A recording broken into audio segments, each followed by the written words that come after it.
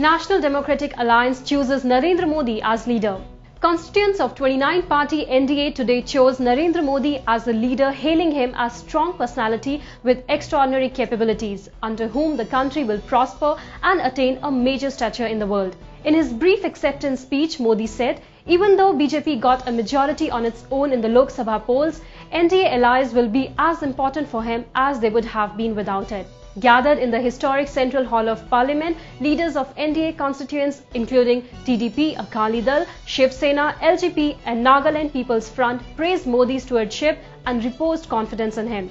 Haryana Janhit Party chief Kuldeep Singh Bishnoi was conspicuous by his absence. TDP chief and former NDA convener Chandrababu Naidu said, under Modi's prime ministership, India will find a place among the world powers with real competition being with the US and China. In this nation building activity, we are one partner with Narendra Modi. We extend on behalf of TDP all cooperation for his great job in cleaning the country and also developing the nation, he said.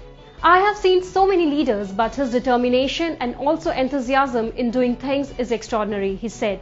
Shiv Sena chief Uddhav Thackeray, while expressing his party support, said, For 25 years, it has just been a struggle for the BJP led alliance, and now good days have commenced. LJP leader Ram Vilas Paswan said the miracle of NDA getting so many seats in the Lok Sabha polls was possible only because Modi was projected as the prime ministerial candidate.